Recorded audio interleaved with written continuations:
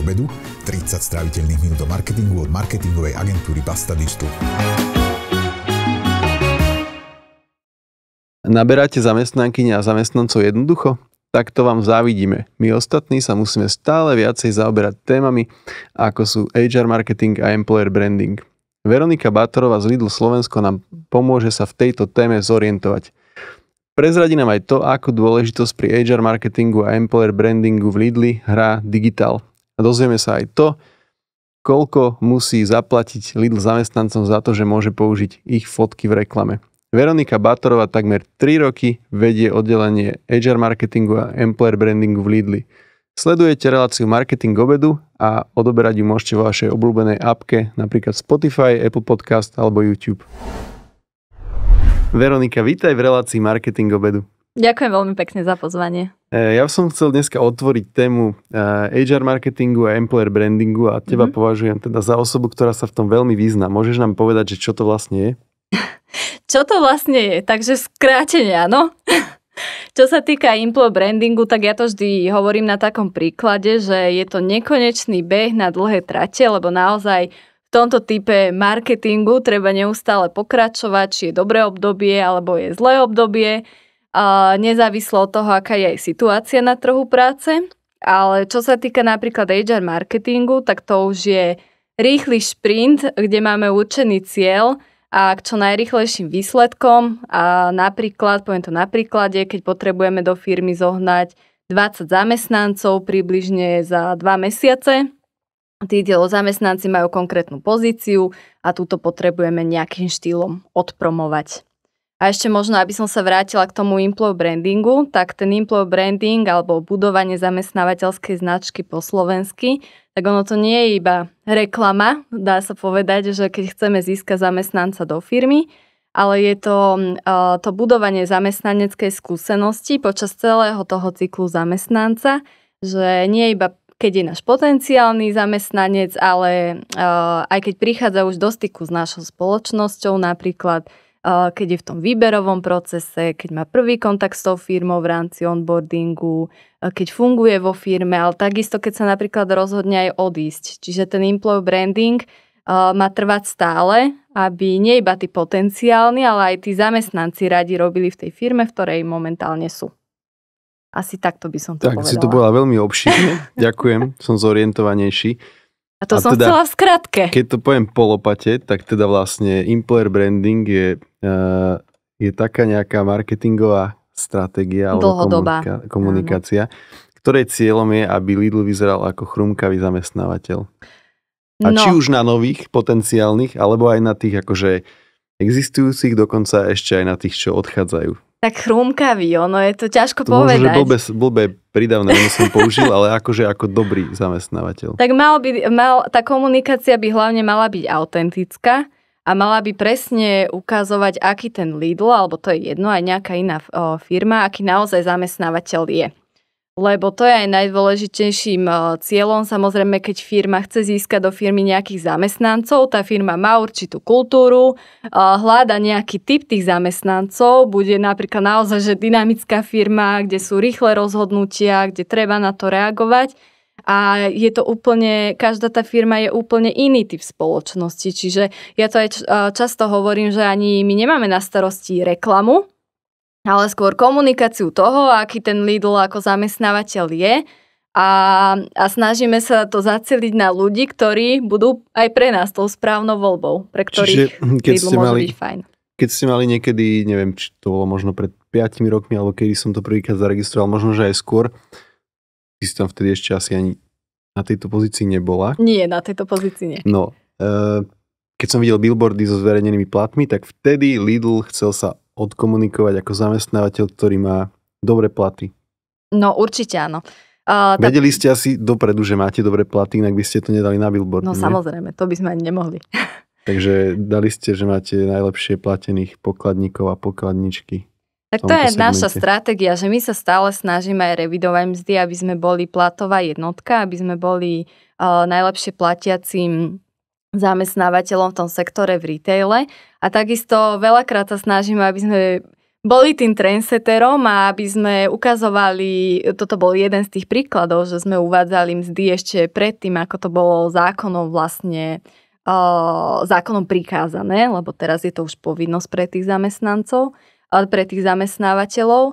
Ale tak takýchto krokov my sme robili niekoľko, dá sa povedať, že trendseterských v tejto oblasti, lebo sme aj veľmi skoro začali s employer brandingom oproti slovenským firmám. A teraz k tomu rozdielu s tým HR marketingom opäť tak polopate. Mm-hmm. Tak HR marketing v tomto je odlišný, že to je krátkodobá záležitosť. Keď ano. potrebujete naberať, tak vtedy to sú tie komunikačné veci alebo ten marketing, ktorý robíte vtedy, keď zrovna potrebujete naberať a ten je zameraný vždycky iba na potenciálnych zamestnancov a zamestnankyne. V podstate áno.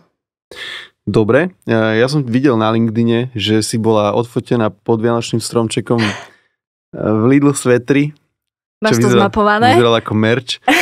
Toto je tiež súčasť nejakého employer brandingu alebo HR marketingu? No, skôr toho employer brandingu. Dá sa povedať, že áno, ale v tomto som bol, ja bola ten ambasador, nie Veronika, čo to má na starosti, ale reálne Veronika zamestnanec.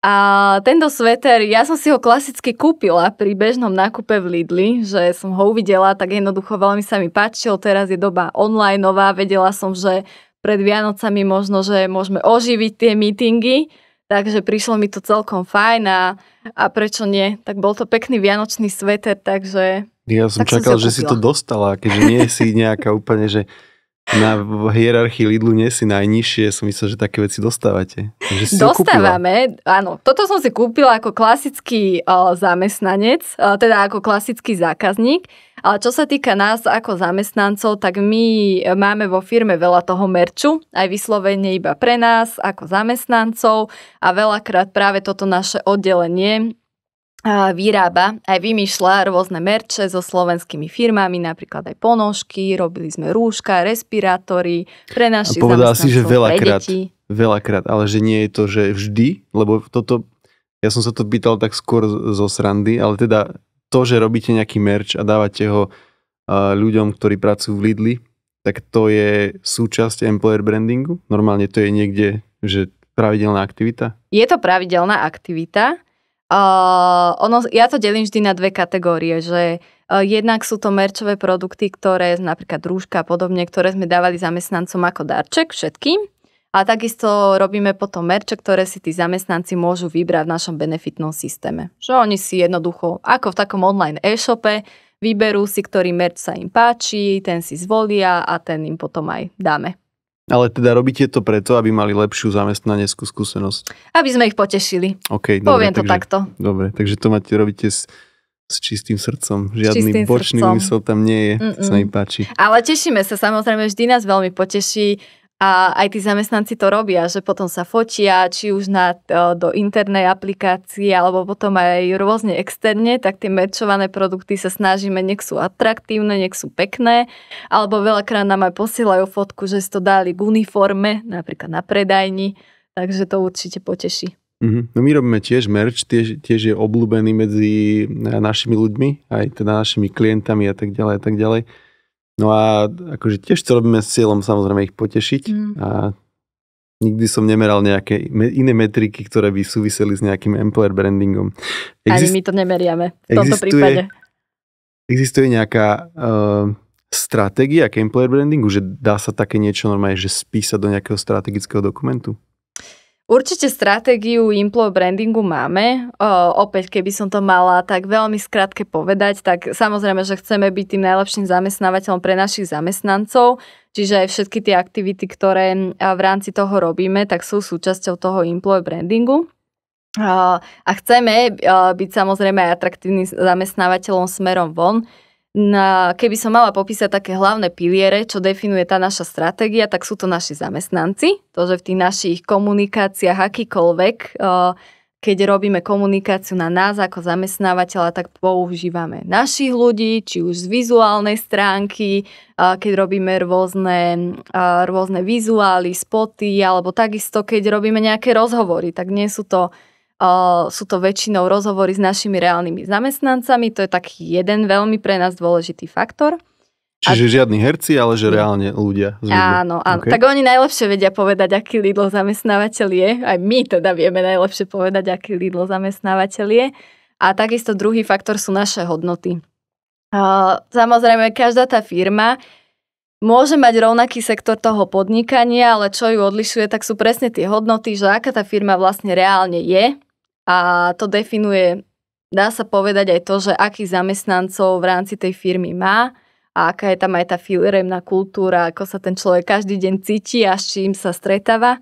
Takže tie naše firemné hodnoty sú takým druhým dôležitým pilierom. Dobre, čiže e, keby som mal uhadnúť vaše firemné hodnoty, ktoré samozrejme nepoznám, tak keďže... No povedz. Ja neviem, a to sa netýka len employer brandingu, predpokladám, že tie firemné hodnoty sa týkajú celej firmy mm-hmm. a mhm. sú v nejakej úplne aj inej stratégii zadefinované, ale že určite tam máte niečo súvisiace s ekológiou, podľa mňa, Áno, lebo vodu, iným slovom, ale áno. Lebo vodu Saguaro si pamätám ešte neviem pred koľkými rokmi, že keď si toľko týchto plastových minerálov kúpim, tak toľko stromov, neviem čo sa... A to vy... stále funguje inak tento funguje? projekt. To by som si typol, že jedna.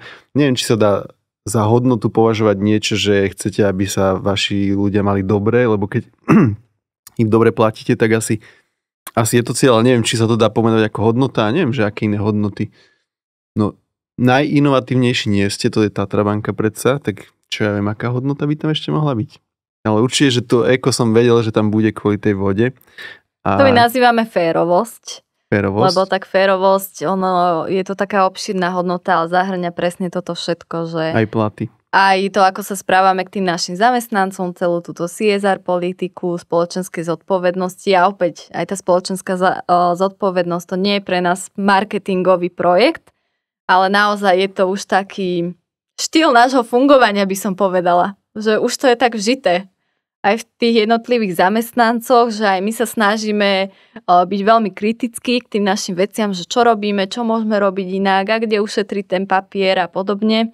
Čiže toto už je také, také vžité, by som povedala. A možno, že ste aj inovatívni, lebo keď vidím tých ľudí za pokladňami s tými sluchatkami a s tými mikrofónmi, tak pôsobí to tak futuristicky, tak možno, že aj to ste. Tak im to uľahčuje určite tú komunikáciu. No a že ešte tam je nejaká tak iná hodnota, férovosť, tú prírodu sme povedali, čo tam ešte je? Tak napríklad... Uh... nemusíš ani všetky, len nejakú zaujímavú možno, vieš, že... Čo je pre nás také príznačné? No, také, že viem, že keď to povieš, tak pomáha jasné, však to je Lidl. No dobre, tak povedzme si, že z hľadiska je toho marketingu. Počas e, koronového obdobia, to znamená, keď začala prvá vlna, určite sme komunikovali našu stabilitu to, že sme tu stále aj pre tých zamestnancov, aby sme aj tých ukludnili, aj čo sa týka, to bol taký náš unique selling point vlastne aj v rámci tej našej komunikácie, že sme stabilná firma, že u nás tí ľudia majú istotu. Takže to bola pre nás taká dôležitá hodnota. Čím sa vyznačujeme, a ty si to spomenul tou inovatívnosťou, um, pre nás je to aj ten osobný rozvoj a to, že sa stále vyvíjame, to, že máme, my sa snažíme, alebo teda chceme, aby v našej firme robili výnimoční ľudia a na to im dávame aj skvelé prostriedky, že máme samostatné oddelenie, ktoré sa venuje rozvoju a vzdelávaniu zamestnancov a toto je pre nás také kľúčové. Dynamika je pre nás určite veľmi dôležitá to je pre nás asi taká, že keď sa spýta zamestnancov, ja toto robievam, keď máme nejakú produkciu, tak ja sa ich pýtam, že tak ktorú hodnotu máte najradšej, alebo že ktorú hodnotu najviac vám tak spája s Lidlom, teda tí, my si týkame, takže o, týkam.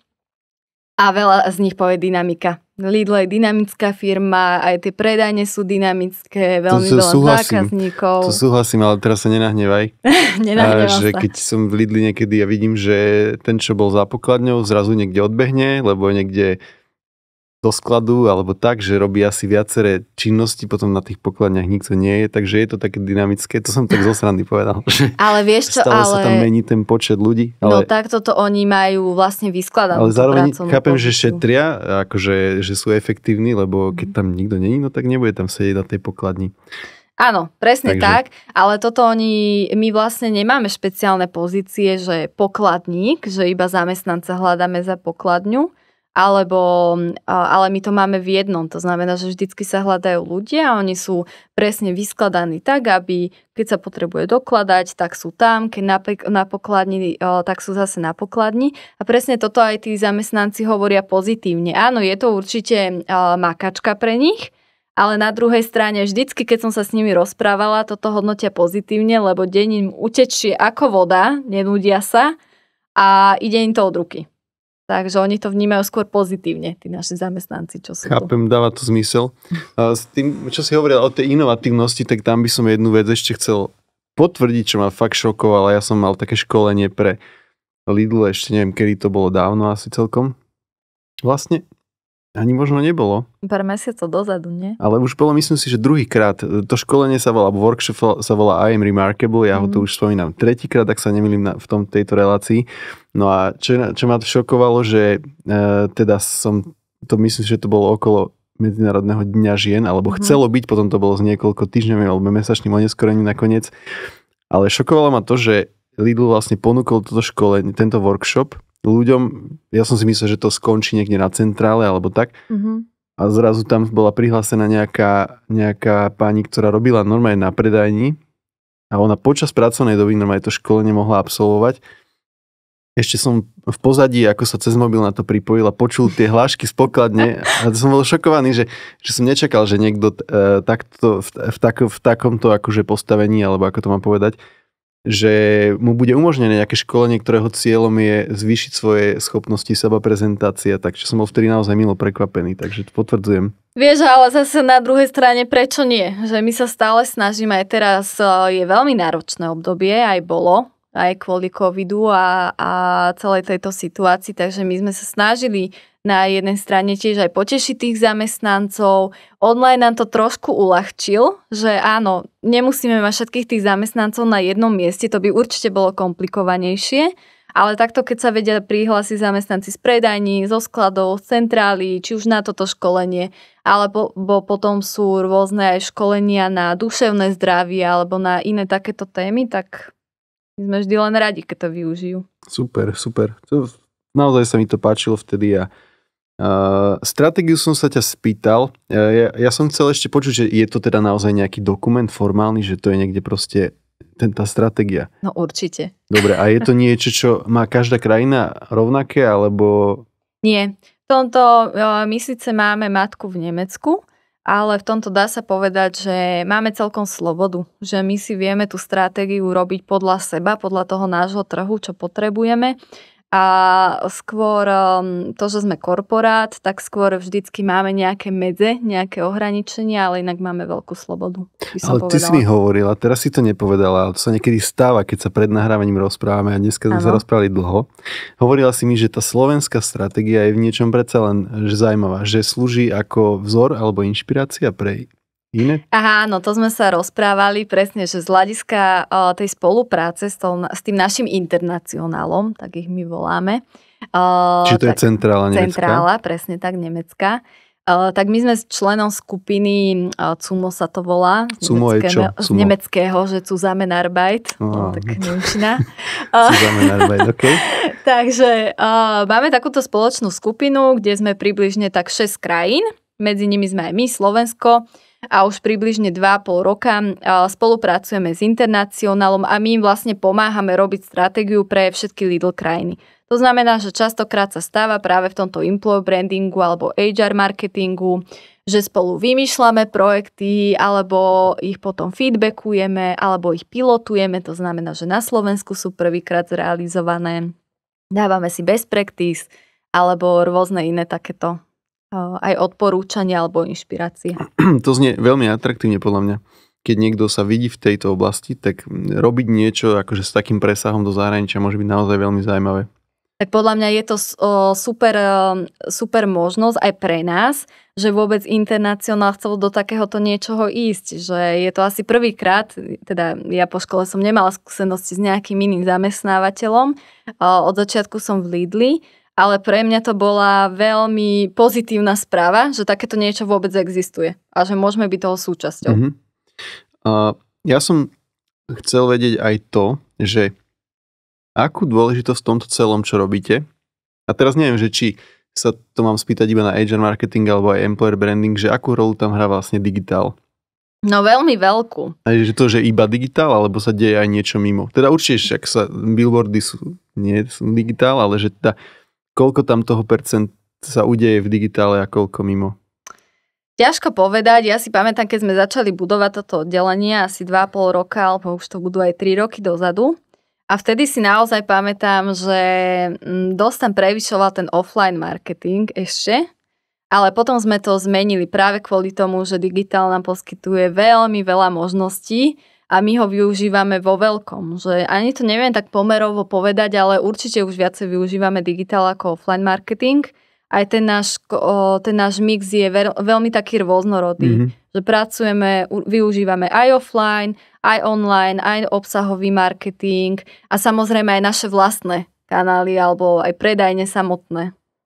Chápem. Je to taký mix.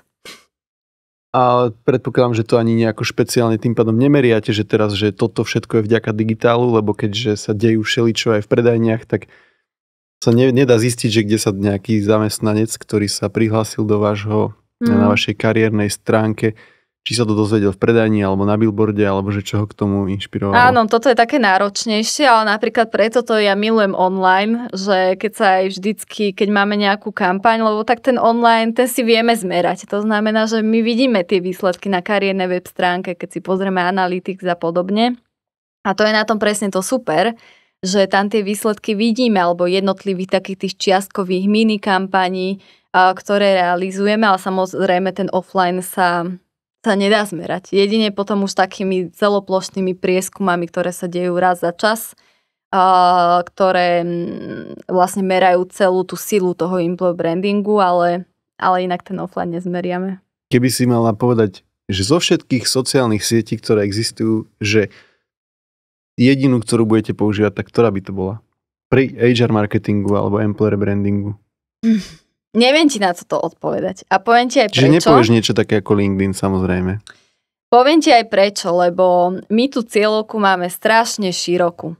My zamestnávame, teda hľadáme zamestnancov na predajne, úplne iná cieľovka, ako keď hľadáme zamestnancov do logistických centier a úplne iná cieľovka, ako keď hľadáme zamestnancov na centrálu, do head officeu.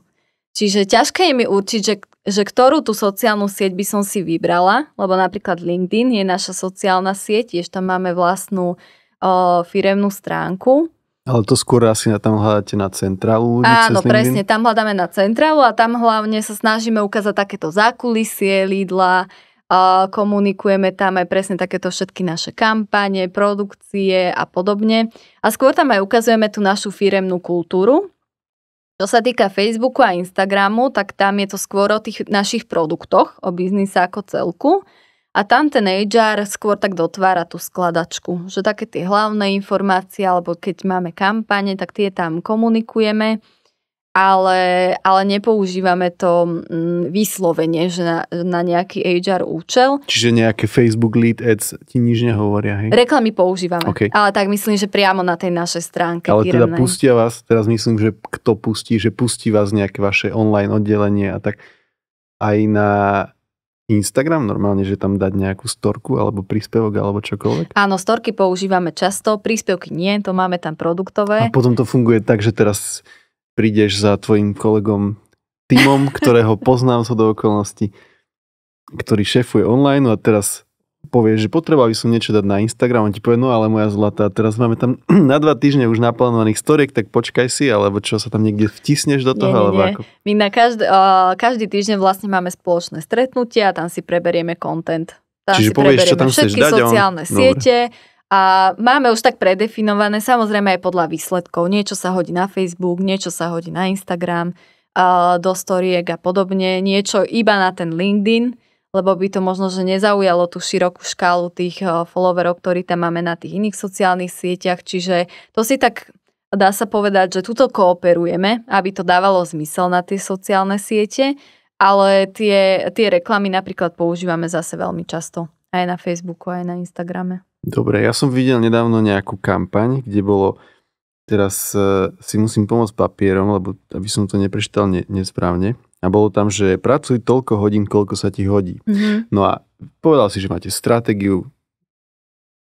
Povedala si mi mimo nahrávania, že robíte rôzne prieskumy. Áno. A že toto vychádza z nejakého prieskumu, že ľudia ocenia nejakú flexibilitu, že pracujú toľko hodín, koľko sa ti hodí?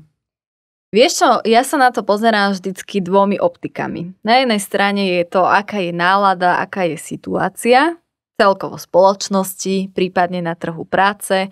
keď sme videli, aká bola situácia na trhu práce, keď eh, začal COVID, tak samozrejme hneď sme na to reagovali a na to som nečakala na prieskumy, ale proste vedeli sme, čo sú tie key message, ktoré tam potrebujeme odkomunikovať. Ale keď je to takéto dlhodobé plánovanie, tak áno, my máme prieskumy aj externé, aj interné, kde sa snažíme zistiť, že čo je pre tých uh, buď potenciálnych zamestnancov alebo aj tých našich dôležité, podľa čoho by si vyberali zamestnávateľa, ak, aké tie kľúčové atributy sú kľúčové preto, aby sa vedeli správne To kľúčové si zdôraznila na schvál, hej? No áno, lebo medzi tým je presne aj tá flexibilita. A čím ďalej tým... A že kto ocení flexibilitu, už si nepamätám presne, čo to bol za, in- za pracovná pozícia, kde som to videl. Asi to bolo niečo, ja neviem, bol, mohlo to byť na predajňu No normálne? určite, na predajni máme veľmi Čiže keby veľa som sa chcel stať ja pokladníkom v, teda nie pokladníkom, Predavačom to si- pokladníkom, áno. upratala si ma, že by som musel aj dokladať tovar. Áno. tak aby si sa eh, keby som ti nenudil. povedal, že ale mám tak dve hodinky do dňa, tak povieš, no alebo štyri, hej, však za dve by ste ma asi nezamestnali. Keď som povedal, že mám pol dňa každý deň voľného, tak No, povieš, tak že to- dobre? To bez problémov. Fakt? Mhm. U nás to práve, že funguje dosť by som povedala, že normálne a často.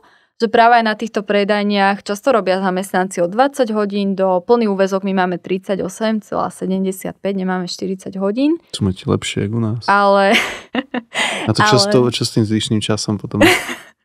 tak každý má iné preferencie. Napríklad často k nám chodili aj maminy, ktoré pro, popri materskej, alebo proste... No, ale- Samozrejme, teraz už ľudia môžu mať rôzne iné priority. Hej, ale som ťa prerušil. Čiže akože od práci. 20 do neviem, 40, ale že, že máte veľa takých, čo majú nižší úvezok ako ten plný na tých Áno, predaniach. máme Mhm. určite veľa Čiže vychádza to takých. z toho, že ľuďom na tom záleží, tak to komunikujete. A také úväzky aj máme, vieš, takže keď to Mhm. máme, tak prečo to neodkomunikovať, že je tu takáto možnosť? Lebo presne sme sa o tom bavili, že práca na plný úväzok teraz má tí ľudia môžu mať rôzne dôvody, starostlivosť o rodičov, o deti, možno, že nejaké zdravotné znevýhodnenie, možno, že má niekto proste koníček, alebo záľubu, Alebo alebo, lenivý, šport, ale- alebo študent, ja neviem, hej. tých dôvodov tam môže byť milión. Jasné. No ale teda, zistili ste, že to, že to ľuďom na tom záleží, vy to tak bežne robíte a záleží na tom, viete to z prieskumu, tak šup s tým na nejaký Áno. vizuál. Super. Presne. Uh, ja mám takú vec, že keď uh, takú z vlastnej skúsenosti, takú negatívnu vec pri HR marketingu, zverejníme nejaký inzerát Mhm. pracovný, tam je plat 1600 v hrubom Áno. a niekto sa ozve znútra firmy, že no ale to je viac, jak mám ja, som tu už dva roky, hej. No stalo sa to nie raz, Mhm. že hrozí takéto niečo aj v Lidli, alebo na čo si dávať pozor pri HR marketingu alebo employer brandingu. Alebo iba HR marketingu poviem, OK, aby som to nepovedal príliš široko. Tak ja poviem odpoveď na prvú otázku. Nemôže sa to u nás stať, lebo u nás máme, v zásade tie platy my máme, dá sa povedať, že tabulkové. To znamená, že máme nejakú nástupnú mzdu a napríklad, poviem konkrétny príklad, predávač pokladní, keď nastupuje, vidí v inzeráte nástupnú mzdu, čo sa týka svojej pracovnej zmluvy, má tam napísané, nastupujem k prvému druhý 2022, tak vie, akú mzdu dostane navýšenú v roku 2023 k tomuto dátumu v roku 2024. To znamená, že oni vidia aj to svoje navýšenie nasledujúce 3 roky a preto nám sa to nemôže stať, že vždycky Vždycky tie mzdy sú postavené takto. A je jedno, či nastúpi muž, žena, či nastúpi kto, ale jednoducho tá, ten plat je, je nemenný, je daný, je, je postavený. Čiže tie mzdy, čo vidí človek v inzeráte, tak určite neprekvapia našich zamestnancov. Tak na čo si teda dávate vy pozor? Na čo si dávame pozor? Mm, skôr sa snažíme, aby ten inzerát bol zrozumiteľný a aby bol ľahko pochopiteľný, lebo napríklad často sa dáva veľmi veľa energie do kampaní, do vizuálov, do kadečoho, aj financie, aj času, ale u nás tá kariérna stránka, ten inzerát je vlastne to srdce, to najdôležitejšie z toho marketingu, čo tam existuje. Lebo to je pre nás ten online shop, kde potrebujeme, aby oni nakúpili, aby klikli na to tlačidlo, že prihlása teraz. Takže sa snažíme, aby tie inzeráty zodpovedali realite. To znamená, aby tí kandidáti sa tam naozaj dozvedeli, že akú teda prácu môžu očakávať, čo sa o nich bude vyžadovať v ľudskej normálnej reči a takisto, aby videli takúto mzdu dostane, dostane takéto benefity čo najviac otvorenie A samozrejme, tak zo zákona dávame tam aj mzdu, to sme robili aj predtým, ale na toto si dávame pozor jedine. Uh-huh. A teraz by som tak, teraz neviem, či, po, či to bude vtipné alebo nie, alebo trápne, ale to, to v Lidli bola tá antivaxerská bitka vtedy? Áno. Že to tam teraz nedáte? Že, Nie. nie, to bol vtip. Že, že akože uh, že vyháňanie antivaxerov z predajní, No to, to tam nedáte. Ja som to Dúfam, teraz povedal len kvôli tomu, opakovať. uh, kvôli tomu som to povedal, že hovorila si mi, že máte jeden prúd komunikácie uh, employer brandingu, ktorý ide iba na zamestnancov. Áno, áno. Povedzme, že keď sa takéto niečo udialo, že vaše oddelenie hneď potom sadne za písace stroje a píšete nejaké správy, aby sa ostatní zamestnanci nebáli, alebo že je toto zodpovednosť takisto vášho oddelenia, takáto komunikácia, alebo nie? No v prvom rade napríklad toto je veľmi náročná situácia a my máme v Lidli aj oddelenie komunikácie, alebo teda aj špecialistov na internú komunikáciu, ktorí majú vyslovene na starosti komunikáciu na zamestnancov. Máme oddelenie firemnej kultúry, ktoré sa snaží zase o to dobro, aby sa každý v Lidli cítil v poriadku, čiže nám v prvom rade záleží vždycky na tom, aby tí zamestnanci, ktorí toto zažili, tak aby jednoducho vedeli, že ako ďalej, aby sme im dali tú pomocnú ruku. Toto je pre nás kľúčové z hľadiska komunikácie, keď už sme si dali takúto prípadovú štúdiu. A potom samozrejme áno, my na tej komunikácii uh, veľmi úzko spolupracujeme. Asi všetky tieto tri oddelenia, ktoré som vymenovala. A to je jedno, že či sú to pri takýchto situáciách, alebo aj všeobecne, keď komunikujeme na zamestnancov čokoľvek, tak, tak si jednoducho pomáhame. Každý má tú špecializáciu na niečo. Aj my, keď robíme implo, implo brandingové kampane, my ich nerobíme iba pre externú verejnosť, ale vlastne aj interne ich komunikujeme. Aj tým zamestnancom ukazujeme videá, vždycky robíme také making of videá s tými zamestnancami, ktorí sú v tých našich kampaniách. Tam ich spovedáme, rôzne otázky, pracovné, mimopracovné, tak to aj oni spoznajú týchto kolegov vlastne, týchto našich ambasádorov, zistia, že aké je to nahrávanie, natáčanie u nás, na čo sa môžu možno, že oni tešiť, aby vedeli, že či aj oni sa nechcú prihlásiť, čiže uh, my práve, že a dokonca by som povedala, vždycky, keď máme nejakú komunikáciu na vonok, takúto, HR marketingovú, implo brandingovú, tak zamestnanci ju vidia prvý. prvý. To znamená, máme takéto pravidlo, že vždycky najskôr ten, tí zamestnanci vidia, akú máme komunikáciu, s čím ideme von. A dovolím si aj povedať, že sa na to aj tešia, že vidia tam zase nové tváre, tí, čo poznajú tú kolegyňu, vymyslím si Mariku z nejakej predajne, tak má tam už svoj fanklub, ďalších Keby kolegov. niekto z nich povedal, že pozor, pozor, je tam chyba, neviem čo, tuto je niečo zle, tak to sa dostane k tebe, či nie? Ale dostane. Z bežných zamestnancov, hej? No určite áno, tak oni tam môžu smelo a transparentne komunikovať, komentovať, lajkovať. Tá naša interná aplikácia je takto nastavená. Mm, Môžu dávať rôzne príspevky, aj dávajú, keď majú aj nejaké backstageové zábery, že bol som v tejto kampani, veľakrát sa aj poďakujú za super deň, že to bolo úplne iné ako... A to naozaj si týkate celá firma, že keď Áno, aj predavačka môže riaditeľovi týkať. no nie môže, ale aj tyka. Super. E, ty si otvorila jednu zaujímavú tému, čo som sa chcel s tebou pobaviť a to je využívanie vlastných ľudí alebo vlastných zamestnancov, vlastné zamestnankyne v kampaniach. Moja otázka je, že, že vy im za to niečo dáte, keď ich nafotíte na nejakú kampaň, že konkrétneho zamestnanca Lidlu alebo nie? No ak sa pýtaš na peniaze, tak nie. Áno, áno. že čo sa týka nejakého odmeňovania, tak stále si myslíme a máme za to, keby tým zamestnancom platím, tak už ich považujem, dá sa povedať, za hercov, že som si to zaplatila, ale my sa snažíme, uh, práve nám ide o to, aby sme v tých kampaniach mali našich ambasádorov, ktorí jednoducho tam chcú byť, ktorí majú tú firmu radi, ktorí majú tú prácu radi a ktorí sú tam z vlastnej, z dobrovoľnej vôle. Ako som aj spomínala, vždycky, keď máme nejakú takúto kampaň, tak tí predošli zamestnanci, ktorí boli v tej kampani, tak my sa ich vždycky pýtame, že ako hodnotíš tento deň, alebo užil si si to, alebo v čom sa ti to páčilo, splnilo to očakávanie, čiže počujú to aj od tých predošlých kolegov a môžu sa aj prihlásiť na taký mail, kde sa nám aj hlásia. Takže máme normálne potom taký zoznam púl kolegov, ktorí chcú byť eh, v našich kampaniach. Musia sa tam hlásiť s fotkami, či nie? Áno, potom nám posielajú aj fotky, aby sme si vedeli predstaviť, že, um, že kto to je vlastne, lebo tak ťažko si to bez nejakej fotky, aj keď my aj v tej internej aplikácii máme fotky, čiže my sa tam aj vidíme, ale tak predsa len na to fotenie je to vždycky fajn, aj sa takto spoznáme s veľmi veľa zamestnancami, sme sa takto spoznali aj e, v rámci Slovenska a, a postupne potom sú v tých našich kampaniach. Ale čo môžem povedať, aj keď je im náročky, e, není za to finančná odmena, tak vždycky im robíme, dá sa povedať, že veľmi pekný taký zážitkový deň, aby si ten deň užili, aby to bolo pre nich iné, aby tam sa aj cítili ako hviezdy, to čo v ten deň určite oni pre nás aj sú. A častokrát po, o, poviem, že aj keď, sú to nie, aj keď nie sú herci, tak, o, tak tie produkcie zvládajú veľmi dobre, že niekedy sa smejeme, že že proste aj, aj keď spolupracujeme s externou agentúrou alebo s produkciou, tak hovoria, že vy ako keby ste tu hercov mali. že... Ale toto sa týka len tých kampaní, kde sa fotí, alebo sú tam aj nejaké akože aj spoty, kľudne aj videokampane, aj tam používajú. Ale, ale akože spoty teraz aké? Že spot, no aj produktový spot, o tom sa nebavíme samozrejme. Nie, nie. Okay. Iba, Čiže iba, tieto... iba vaše kampane Employer brandingové. Áno, presne. Tak. Dobre. Uh,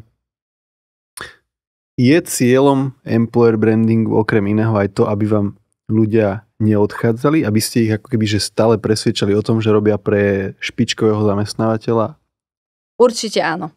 Toto, keď som to tak dlho, teda tak rozsiahle vysvetlovala na začiatku, že o čom je ten employer branding, tak presne aj o tom toto je, že my spolupracujeme s tými našimi ostatnými HR oddeleniami a, a snažíme sa neustále zlepšovať preto, aby sme boli stále tá správna voľba pre tých našich zamestnancov, ktorých momentálne vo firme máme. Správna voľba si povedal na schvál? Áno. tak to asi tu dostal do tejto relácie váš claim. Aspoň teda jeden z asi nie je to jediný claim, ktorý používa Lidl, nie? Uh, je to. Je to vlastne náš jediný claim, máme ho aj pod logom, ale napríklad na sociálnych sieťach ja to používam aj ako hashtag, že moja správna voľba. Ja to takto no aj prepájam. To znamená, že keď vaše oddelenie, ktoré je viac ešte zamerané na HR, na existujúcich mm. zamestnancov, vám povie, že odišlo nám neviem koľko ľudí kvôli tomu a tomu v nejakom meste, mm-hmm. tak bystrite pozornosť, hej, že... No určite by sme zbystreli pozornosť. Ale nedieje sa to samozrejme, lebo Lidl je, Lidl je správna no, voľba. tak minimálne o tom neviem. tak dúfam. ale keby sa to dialo, tak vy na to reagujete, lebo niečo ste podcenili v komunikácii alebo niečo také. No určite by sme si sadli a hľadali, že hľadali, kde je asi tá chyba a čo s tým vieme spraviť. Ako to vieme vyriešiť. Je problém. Môže byť x problémov, takže ťažko tu teraz vymýšľať, ale isto by sme to riešili. Dobre, a teda keď som povedal, že aby ľudia neodchádzali, čo okrem zvyšovania platov môžete robiť? Tam tých vecí je milión. My, to som sa hlúpo spýtal. To znamená, že napríklad poviete, že záleží Lidlu na, alebo Lidl záleží na uh, ekológii a prírode a tým pádom ľudia, ktorí sú takto nastavení, tak si povedia, dobrého mám zamestnávateľa, lebo sa v tom smere zlepšujeme a tak. Tak ja poviem všetko, čo mi napadne teraz, dobre? Ale možno, že zabudnem niečo. Tak samozrejme, platy sú pre nás dôležité. To som aj hovorila, že chceme byť platovou jednotkou a tie mzdy sa aj pravidelne revidujú, aby to tak aj zostalo. Aj keď robíme tie prieskumy, ty si sa pýtal na tie prieskumy, tak uh, ono stále to vychádza plat. Jednoducho človek chodí do práce, aby si mohol zaplatiť tie účty. Je to dôležité. Ďalej súčasťou toho odmeňovania sú aj benefity vždycky, že... Mm, Niekto má služobný telefón, služobné auto, takisto aj naše vedúce pozície majú aj na súkromné účely. Máme benefitný systém, ktorý sa skladá tiež z niekoľkých častí. Buď sú to darčeky, ktoré dávame zamestnancom len tak, že vianočný darček, na narodeniny darček, vitaminové balíčky, ako som spomínala, rúška, respirátory, kadečo takéhoto. Dezinfekcie sme dávali, keď počas prvej vlny sa nedali zohnať, čiže rôzne takéto darčeky, na ktoré si teraz spomínam. Potom je to čas benefitov. Mm, my máme systém vlastne kafetériu, to znamená niečo ako náš interný online benefitný e-shop, kde tí zamestnanci si môžu vyberať, že chcem poukážku na knižku, alebo do lekárne, alebo listok do kina, alebo chcem merch, alebo chcem neviem, čo tam ešte takého máme, polúkažky do Lidl shopu, tam je to také rôzne. za to, že zamestnanci u nás sú, tak majú vlastne takú virtuálnu peňaženku a môžu si tie benefity vyberať. Potom napríklad u nás majú, uh, voláme to, že e-app portál, kde zamestnanci 24 hodín, 7 dní v týždni môžu zavolať a je im poskytnutá ekonomická, uh, ekonomické poradenstvo, právne, psychologické, aj napríklad toto vzdelávanie, ty si to tu spomenul, že vzdelávanie tiež berieme ako dôležitým benefitom alebo takou aj podporou pre, pre týchto našich zamestnancov. Čiže tých benefitov alebo tých systémov toho ocenenia je tam veľmi veľa. A ešte čo by som zdôraznila, tak je dôležitá aj tá firemná kultúra. Preto, ako som spomínala, nie je dôležité, že robiť reklamu na seba ako zamestnávateľa, aj keď, aj keď nepravdivú, len aby som vyzeral čo najlepšie, ale je tam dôležitá tá autentickosť, lebo keď ten zamestnanec príde do tej firmy a bude vedieť, že OK, tak takáto firemná kultúra tu nie je, no tak ono odíde. A je to pre firmu aj časová, aj finančná strata. Akurát. A nespokojný zamestnanec, aj Chápem. zákazník.